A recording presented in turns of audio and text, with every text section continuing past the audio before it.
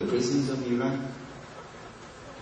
Is all of this sexual humiliation being inflicted on the Ummah of Muhammad والسلام, by accident? Are these random events taking place by a few rogues? Not at all!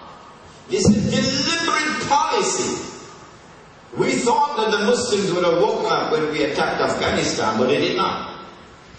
We thought that they would have woken up when we attacked Iraq, and they would have overthrown some of the pro-American regimes like the Jordanian regime, but they did not. The Muslims are really snoring.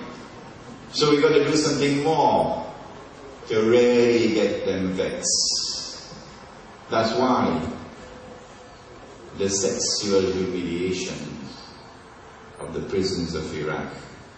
That's why they were parading naked prostitutes before our people in Guantanamo. This booklet in your hand has an appendix at the back, which comes from one of the inmates who was released from Guantanamo. And because he was a British national, he was a black Jamaican, incidentally. A black Jamaican who converted to Islam. He was able to tell the story about Guantanamo. Read that story at the back of this. I don't think the Express will publish it.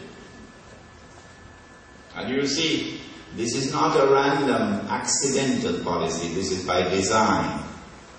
Its purpose is to try to get the Muslim world to wake up, overthrow some of the pro-American regimes, get some Muslims so mad that they will now become terrorists.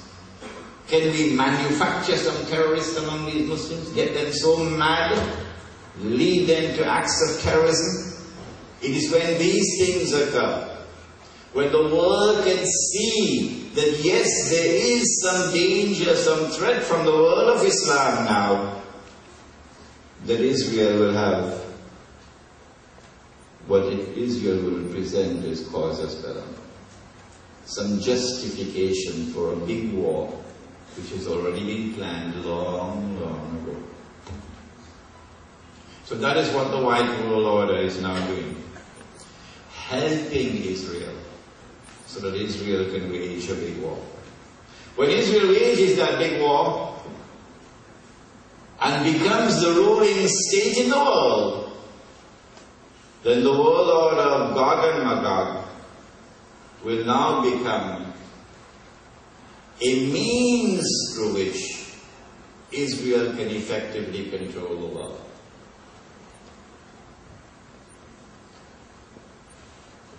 But Israel will rule the world for a day which is like a week. A day like a week.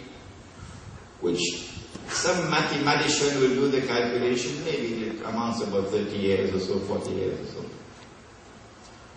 At the end of that time, the masjid would have been destroyed, Masjid al-Aqsa. The temple would have been rebuilt. And then the Antichrist will emerge as the ruler of Israel and the ruler of the world and declare, I am the Messiah. Hmm? And when it is accepted, he rubs his hands and say, mission accomplished. It is at that time that Allah raises a man from the seed of Nabi Muhammad and he's known as the Imam al-Mahdi. And with him, Darul Islam is restored, and we have a subject, we have that subject in this series of lectures. Imam al-Mahdi and the return of the Caliphate, that is one of our topics. When Darul Islam is restored in the Arabian Peninsula, that is goodbye. Goodbye to the American Kingdom of Saudi Arabia back into the garbage bin from where it came out in the first place. But when Darul Islam is restored in the Arabian Peninsula, Imam al-Mahdi, that is the most significant, real and tangible threat to the state of Israel. And so the Antichrist attacks. The Prophet said that the attack would come from the east. He pointed 20 times to the east. east of Medina is not Japan, something closer. He said that the Antichrist will ride on a donkey. Remember the last lecture? The donkey will travel as fast as the clouds.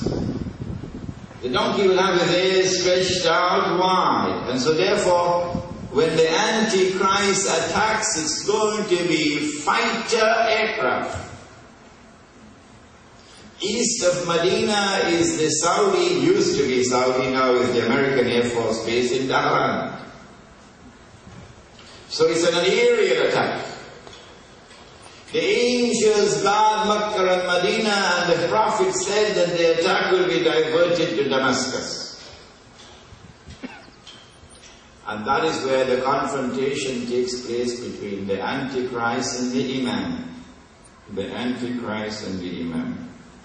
It is at that time that the Son of Mary would come down with his hands resting on the wings of two angels at that time.